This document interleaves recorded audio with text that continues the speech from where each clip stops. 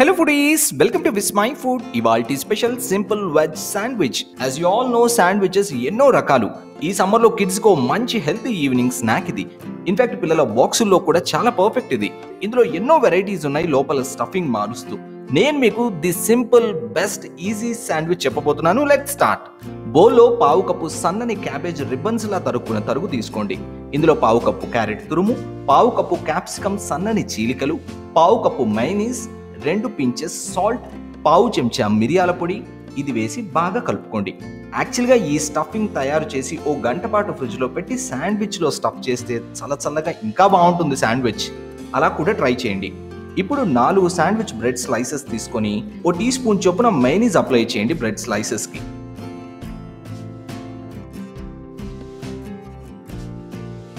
దీనికి పావు చెంచా మిరియాల పొడి అర చిటికెడు సాల్ట్ వేసి క్యాబేజ్ స్టఫింగ్ పెట్టి మరో బ్రెడ్ స్లైస్ దాని మీద పెట్టి ఎడ్జెస్ రిమూవ్ చేసేయండి.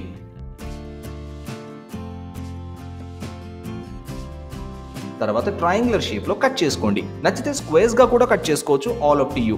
ఇంకా మీరు ఇందులో క్యుకంబర్ టమాటో కూడా స్టఫ్ చేసుకోవచ్చు. దీన్ని టమాటో కెట్చప్తో సర్వ్ చేయండి చాలా చాలా బాగుంటుంది. నచ్చిందా సింపుల్ వెజ్ శాండ్విచ్?